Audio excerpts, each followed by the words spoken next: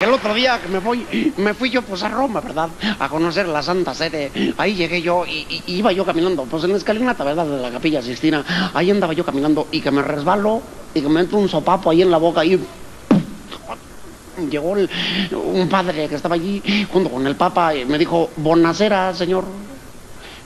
Y Bonasera es buenas tardes en italiano, ¿verdad?